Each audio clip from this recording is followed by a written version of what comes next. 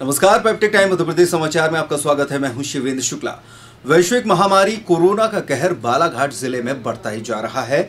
हम आपको बता दें कि 1400 कोरोना पॉजिटिव मरीजों की संख्या बालाघाट में पहुँच चुकी है। अब इस पर स्वास्थ्य सुविधाओं पर सवालिया निशान लगना लाजमी है कि आखिरकार किस तरीके से इसको कंट्रोल किया जा रहा है और क्या कमी रह गई जिसकी वजह से संख्या लगातार बढ़ रही है। कोविड 19 के मरीजों को समय पर इलाज मिले ये वक्त की ज़रूरत है, जिसके लिए समय पर रिपोर्ट मिलना अति आवश्यक है। कोरोना प्रोटोकॉल के मुताबिक अगर किसी व्यक्ति को सर्दी, खांसी, बुखार हो और सांस लेने में तकलीफ़ हो रही हो तो इसे कोरोना का प्रारंभिक लक्षण माना जाता है। स्वास्थ्य विभाग इसके लिए कई तरह के संचार माध्यमों का उपयोग कर जन जन तक अपनी बात पहुँचा रहा है। सबसे बड़ी परेशानी जो सामने आ रही है, वो है लिए गए सैंपल की रिपोर्ट में देरी, जिसकी वजह से मरीज़ के इलाज में देरी हो जाती है और मामला क्रिटिकल हो जाता है। ज़िले के वरिष्ठ डॉक्टर तथा हृदय रोग विशेषज्ञ डॉक्टर सी एस चतुर्मोहता ने इस विषय पर चिंता जताते हुए कहा कि कोविड 19 के मरीजों का इलाज संभव है, बशर्ते इसकी पहचान समय पर हो सके। कोरोना एक वैश्विक महामारी बन गया है और अच्छे अच्छे देशों में भी जो संसाधन और जो संगठित होकर जो काम करने की जो प्रक्रिया है, ये कहीं ना कहीं कुछ खामियाँ इसमें नज़र आती हैं और इसके लिए सबसे ज़्यादा ज़रूरी है कि जितना जल्दी इसका डिटेक्शन होगा और जितने जल्दी हम पेशेंट को या जो कैरियर है उसको अगर हम डिटेक्ट कर लेंगे, उतने जल्दी और आसानी से हम उस स्थिति को कंट्रोल कर सकेंगे। और इसके लिए सबसे ज़्यादा ज़रूरी है कि जितने जल्दी टेस्ट अगर होते हैं और टेस्ट की रिपोर्ट जितने जल्दी आती है, उतना ही आसान रहेगा बीमारी का इलाज करना और उसको कंट्रोल में करना बालाघाट ज़िले में ये देखा जा रहा है कि रिपोर्ट लेट आ रही है। कुछ जिसमें हार्ट पेशेंट भी है।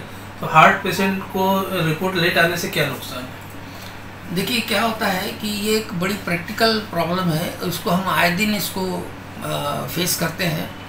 क्या होता है कि कोई भी मरीज़ एकदम से पूरे लक्षण उसके ऊपर नज़र नहीं आते।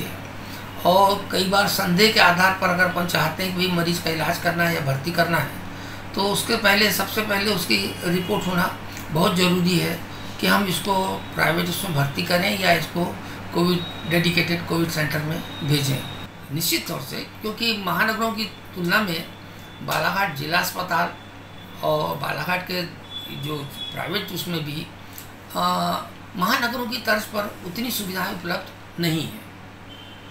क्योंकि क्या होता है कि छोटी जगह है, अगर कोविड का मरीज़ भर्ती करते हैं और बिल लंबा चौड़ा बनता है तो डॉक्टर आलोचना के शिकार बनते हैं। और नहीं करते हैं तो फिर आलोचना का शिकार बनते हैं कि ये लोग कुछ कर नहीं रहे यहाँ सुविधा नहीं है।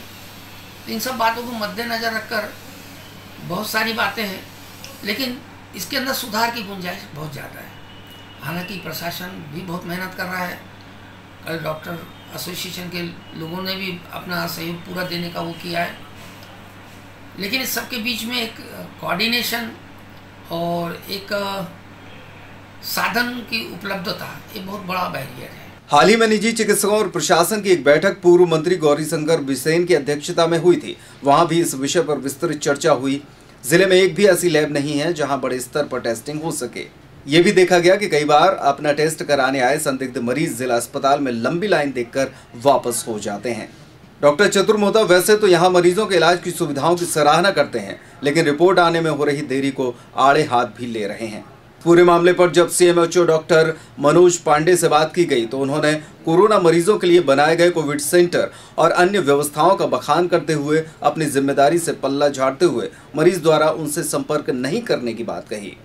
हमारे यहाँ पर तो एक तो Covid hospital Covid care centres हैं है ना? जो कि अभी गोमलई में है हमारे यहाँ और जिस पर लगभग हमारे पास पाँच सौ बेड की है। इसके अलावा हमारे पास में बैया और बिरसा में भी हमने अधिक बेड बनाकर रखे हुए और फिर जिनको ऑक्सीजन सपोर्ट लगेगा इनके लिए हमारा आई टी पी सिक्स है ये बूढ़ी के आई टी आई बूढ़ी में है। यहाँ लगभग अस्सी बेड है हमारे पास फिर सौ बेड दस बेड जो है हमारे ये, ये अपना जो अस्पताल है जिला अस्पताल इसके बगल में है जिसको डी आई सी बिल्डिंग है वहाँ पर जो कि कोविड के सस्पेक्ट अगर आएँगे और उनको सांस में संबंधित समस्या होगी तो उनको रखने के लिए। और सत्रह बेड का एक आई सी यू चालू है सर अभी इस समय अपनी जो टूनाट लैब है वो बंद है। हाँ टूनाट लैब के लिए के लिए जो सामग्री हमको शासन से प्राप्त हो रही थी के बंद है। लेकिन उसकी जगह में हम अभी रेपिड एंटीजन टेस्ट और R T P C R test कर रहे हैं जो कि हम छिंदवाड़ा भेजते हैं। सर उसमें रिपोर्ट आने में कितना समय लग जाता है अगर किसी का सैंपल भेजा जाता है छिंदवाड़ा ये जो थोड़ा छिंदवाड़ा जो रिपोर्ट जा रही है इसमें थोड़ा सा विलम्ब हो रहा है। पहले जबलपुर में जब हम रिपोर्ट भेजते थे तो जैसे आज भेजते थे तो दो दिन बाद में हमको रिपोर्ट मिल ही जाती थी छिंदवाड़ा में थोड़ा तो तीन से चार दिन का भी समय कई बार उनको भी एक तारीख से उनको भी मतलब फीवर और बहुत ज़्यादा खांसी होने लगी थी उनको। और मतलब दो तीन दिन में तो उनकी हालत बहुत गिर गई थी। और जो ऑक्सीजन लेवल है वो भी 92 के करीब आ गया था। तो क्या यहाँ उनके टेस्ट हुआ था? हाँ उनका भी हुआ हमारी बेटी है और बेटी की बेटी है। हम उनका भी टेस्ट हुआ और पद्मेश का भी हुआ सबका टेस्ट हुआ। हम चारों पॉजिटिव आए लेकिन पद्मेश नेगेटिव आया था। तो उनकी रिपोर्ट कितने दिन में आपको उपलब्ध हो गई? इनकी रिपोर्ट पाँच छः छः सात तारीख को आई है छः टेस्ट किस दिन हुआ था उनका? एक तारीख को। एक तारीख को हुआ था। हाँ जी। और रिपोर्ट सात तारीख को आई हाँ। छः छः को आई। छः तारीख को। हाँ। जी उस बीच में उनको ऑक्सीजन वगैरह उपलब्ध कराई गई या कुछ? मतलब ज़्यादा उनकी तबीयत खराब हो गई थी तो उनको मतलब भोपाल हमारे जेठ जी बोले भोपाल लेके चलते करके. तो भोपाल तो नहीं गए विदिशा में ही मतलब विदिशा आधा घंटा पहले पड़ता है भोपाल से। वहाँ पर वहाँ रुके वो और वहीं पर उनका ट्रीटमेंट चालू हुआ। और वहाँ जाने तक तो बहुत ज़्यादा हालत एकदम गिर गई थी उनकी हालत। तो हालत बालाघाट में उनके इलाज को लेकर कोई सुविधा नहीं दी गई। नहीं, यहाँ तो क्या है, ऐसा बोलते हैं ना कि जब तक का रिपोर्ट नहीं आती है, तब तक तो कोई डॉक्टर ना तो एडमिशन मतलब एडमिट करते हैं और ना ही कोई दवाई देते हैं।